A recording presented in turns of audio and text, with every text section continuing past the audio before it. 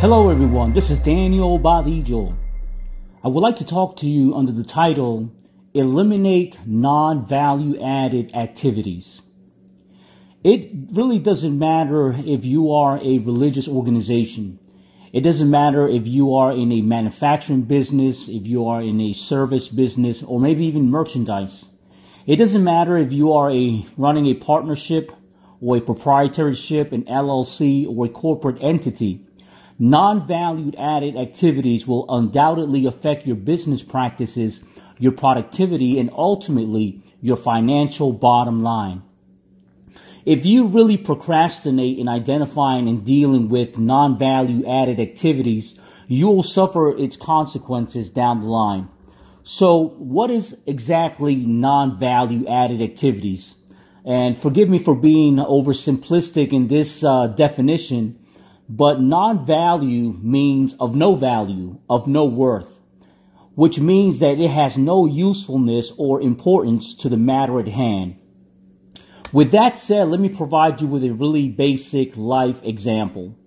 If you're running late to work one morning and you encounter heavy traffic on the highway that maybe has come to a standstill, if you begin to actively uh, yell and get frustrated, throwing your hands in the air and complaining about the traffic, it will not change your present situation. Of course, yelling will make you feel good, and yelling is a visual and audible response to, to let people know that you disagree about the present situation, but it will not make any vehicle go faster. Therefore, there is no return on investment for the activity of yelling and complaining. So now let's get technical about non-value added activities. The business dictionary defines non-value added activities as generating a zero or negative return on investment of resources and usually can be eliminated without impairing a process. So today I want to take a moment to really uh, give you uh, some a summary of what these seven popular basic waste streams of manufacturing uh, called under the title non-value added activities and also provide five tips, simply five tips on how to eliminate non-value added activities from your life, your business, and your nonprofit organization. I remember uh, many years ago when I was studying uh, to become a Lean Six Sigma black belt that I was first introduced to the seven ways of lean manufacturing, of these non-valued added activities. And the way I was taught about these seven waste streams is through the acronym TIMWOOD. And the first T stands for transport, the I stands for inventory, the M stands for motion, the W stands for waste, the O is overprocessing. The next O is overproduction. And the D stood for defects. So when you think about non-value added activities in transport, it means really there is no one piece flow. Materials or raw materials are moving to this direction and that direction. And really there is no rhyme or reason on, on how the material actually flows or how material is transported from one location to another. And this not necessarily has to do with materials, but also with information, with paperwork. How is information and paperwork being transported from one building to another building or cross-functional departments or through uh, emails or, or, faxes or whatever other uh, media there is to transport information. And you have to understand that it adds no value to the product or to the service uh, and the customer is not paying for the internal transport. So if it adds no value to the end product and the customer is not paying for the internal transport, and that way there is a waste in transport.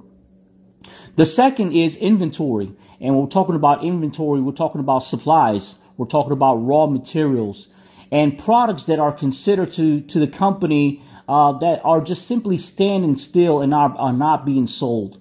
This means excess inventory that you're just having idle and there are no min or max levels in your inventory levels. And therefore, if they're not being sold, they're adding no value to your process and the customer is not really paying for material that is idle. So if your inventory sits idle without being used or sold, this is also considered part of the waste stream. The second, the third, sorry, is motion. Another waste stream is motion and another non-value added activity. And any non-essential motion in a work cell, in a production line, in an assembly line, or movement that's done by machine or done by uh, personnel that adds no value to the end product is actually a waste stream. There is a non-valued activity factor placed on that particular motion. So poor workstation layouts uh, really are the root cause of excess motion. And companies spend literally millions upon millions across the globe trying to exercise Kaizen events or Kaizen Blitz, 6S events, and all sorts of ergonomic activities to reduce motion and increase safety.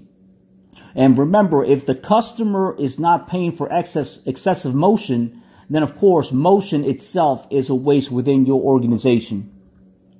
The other uh, waste stream is waiting.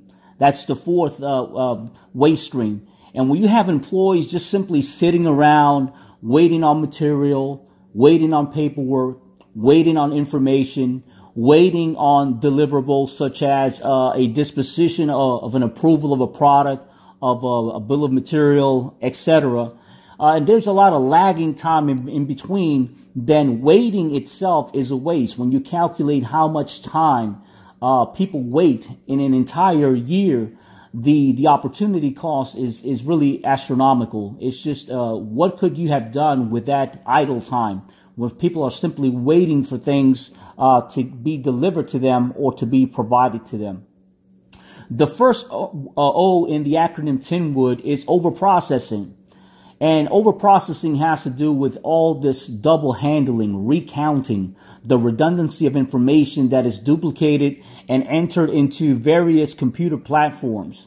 Uh, rework is also another overprocessing. Uh, increased inspections and all sorts of equipment that is used to to uh, actually reinspect. Uh, it's it's called overprocessing. Overprocessing is is not a variable when calculating job costs so in the cost, if the customer is not paying for over processing in the job cost, then over processing itself again is a waste. It is a non-value added activity. Later we have now overproduction. Overproduction simply means too much work in process or too much finished goods waiting for a purchase order, waiting for someone to pick it up. It's in your warehouse. It's simply standing there because you have overproduced uh, and have have not adhered to the maybe uh, made to order quantities or to the uh, quantities that were initially on your purchase orders.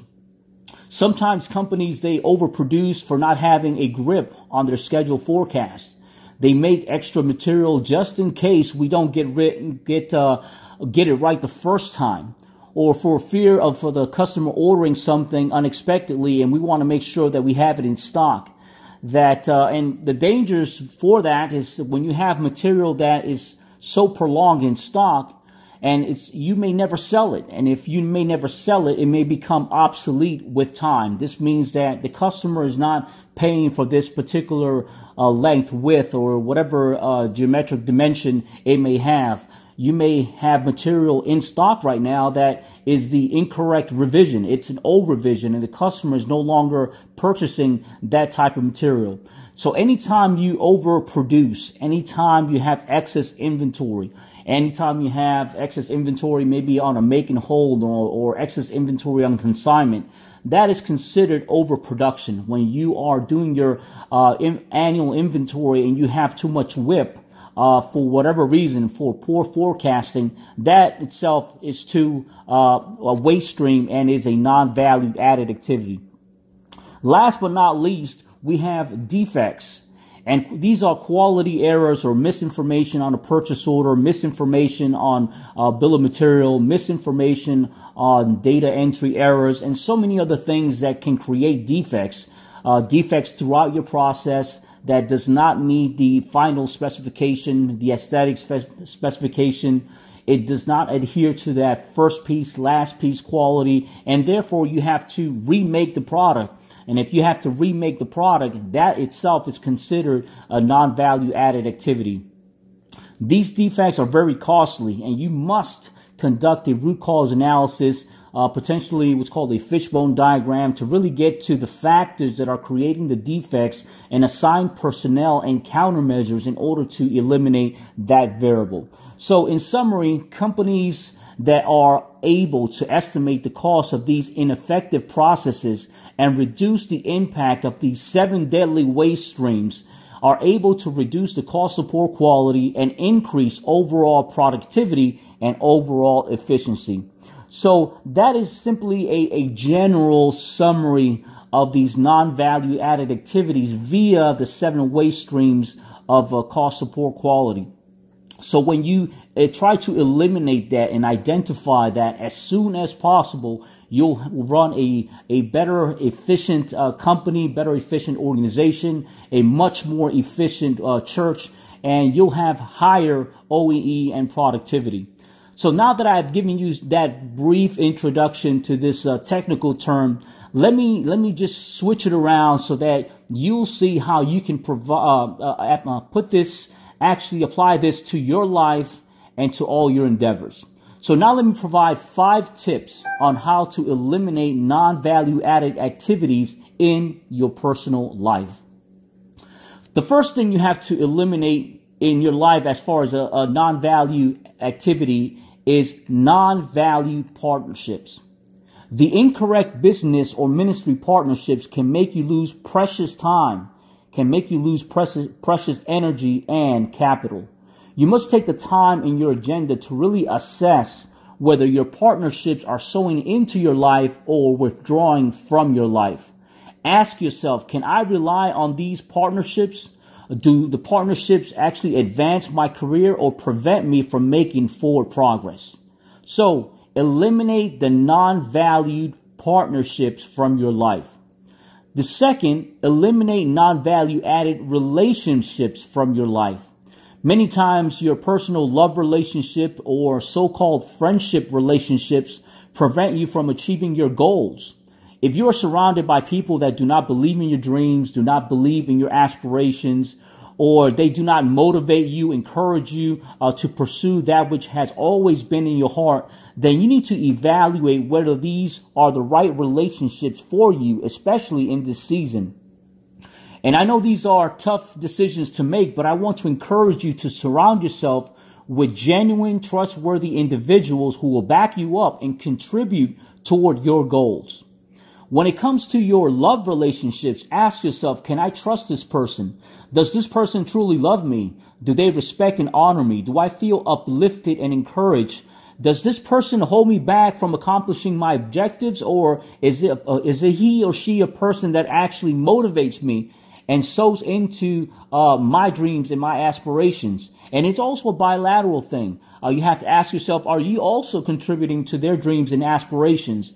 But ask yourself these questions because these are very important to eliminate non-value added relationships from your life. So sometimes people uh, keep entertaining unproductive relationships and remain stagnant for years on end. Therefore, having the correct person by your side will ensure that you'll have someone special to lean on when times get rough. Third, eliminate non-value added locations. Now, I heard the saying long, long time ago that says, where you don't grow, you must go. Let me say it again. It's so simple that it's so profound. Where you don't grow, you must go. It sounds simple, but it's so true you must reflect on uh, whether the place that you're in, the location that you're in, actually challenges you. Does it motivate you? Does it inspire you?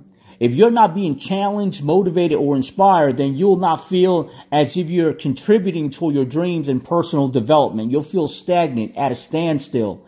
So evaluate those locations and eliminate non-value added locations. Remember, where you don't grow, you must go. Fourth, eliminate non-value investments.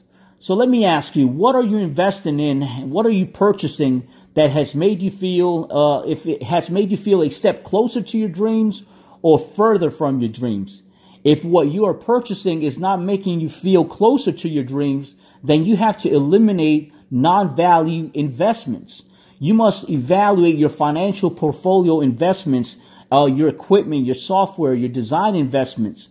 If your investments are not yielding a significant return on investment, then a modification is needed in your life. So once again, look at all your investments. Look at your portfolio. Look at the things that you have purchased for your dreams, your aspirations, your business in itself. And ask yourself, did I, did I purchase the right things? Did I uh, acquire the right assets that will get me closer to my dream? Or simply I bought things that I really will never use, will sit on the shelf, will collect dust, and I will definitely forget that they were there to begin with. Why? Because they add no value to your investments. So eliminate non-value added investments. Last but not least, as a, as a tip, the fifth tip is to eliminate non-value added emotions. There are feelings and emotions that hold you back. That is definitely a given.